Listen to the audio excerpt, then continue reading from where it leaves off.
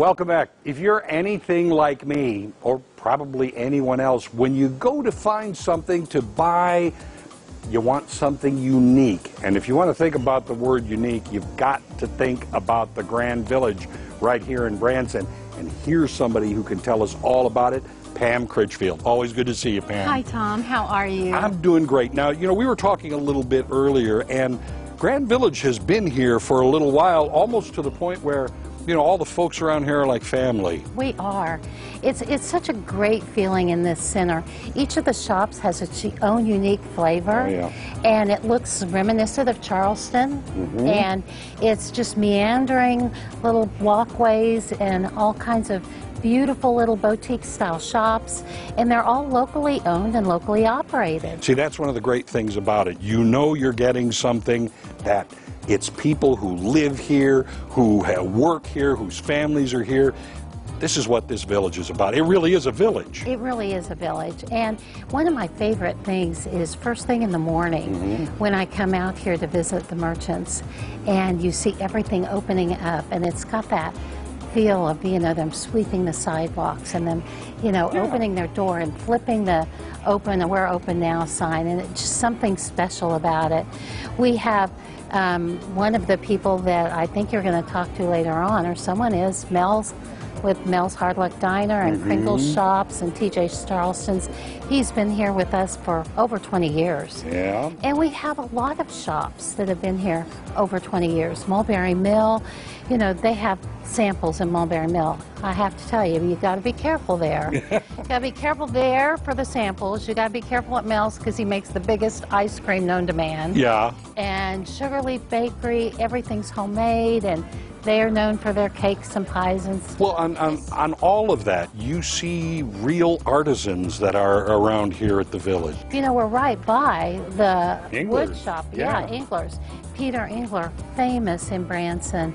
Um, we miss him. He's no longer with us, mm -hmm. but mm-hmm. Mary, who was worked under his tutelage, runs the shop, and it's wood carvings, and people take home, especially you know those little hand carved Santas around oh, Christmas yeah. time, and they collect them, and we're full of things like that. We've got Grand Glitz, which has fabulous clothing mm -hmm. for for women, and fabulous shoes and boots, which you know, I'm, I seem to be able to partake in that. A lot of well. people like the shoes and yeah, boots idea, yeah. Yeah, and we have Corky shoes, we have, you know, we have the Medic Spa, we have back in time toys. Oh my gosh, Tom. Oh, yeah. Those toys are toys you, you and I remember.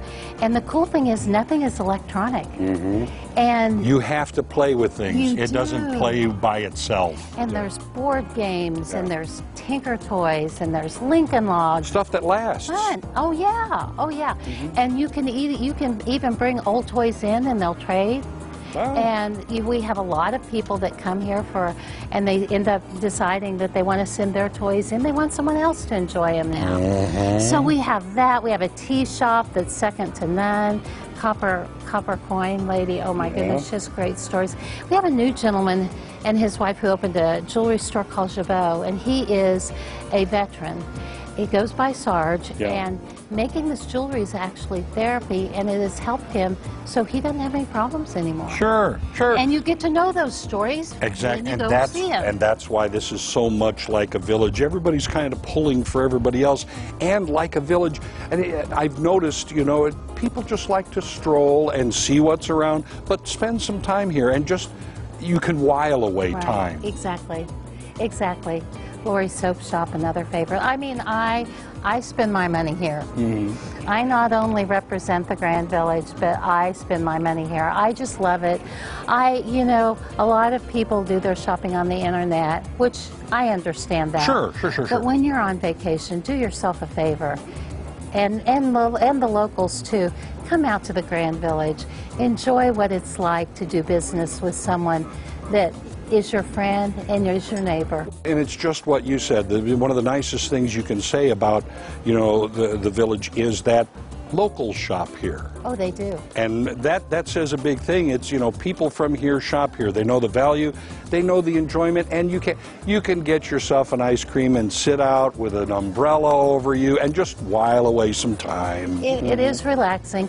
Different than any other shopping center I, I've not been to a shopping center like this. It is before. unique, as I said at the beginning. And was- Everything is unique. It was built originally by Silver Dollar City um, because they had the Rockettes coming in Sure. Grand Palace, which is no longer, but the um, they needed a place for people to see the craftsmen and things like that in between shows. And. And they're all right are. here at the Grand here we Village. Are, 20 plus years later. Tell people where they find the Grand Village when they're coming down 76 Highway. We are just located in the in the middle of Highway 76, right next door to what's going to be the hottest new attraction next year, the aquarium. The aquarium.